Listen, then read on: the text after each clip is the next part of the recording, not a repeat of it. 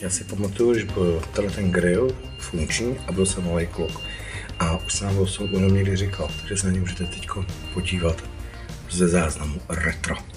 Rychlému občerstvení právě přibyla plzeňanům i návštěvníkům krajského města, a to na rušné moskevské třídě pár set metrů od Kotwaldova nádraží. Pracovníci plzeňských restaurací a jídelen tady během pouhého měsíce zrekonstruovali dosud nevyužité prostory a otevřeli tento nový grill, o jehož službě je, jak dokumentují i tyto záběry, značným zájem. V příjemném interiéru je pamatováno i přes nevelké rozměry na posezení malých dětí. Sympatický je i fakt, že jde o další bistro s celotýdenním provozem, tedy včetně sobot a nedělí, a navíc Navíc až za několik dnů zmizí lešení z vedlejšího domu, objeví se tady také už připravená předzahrádka.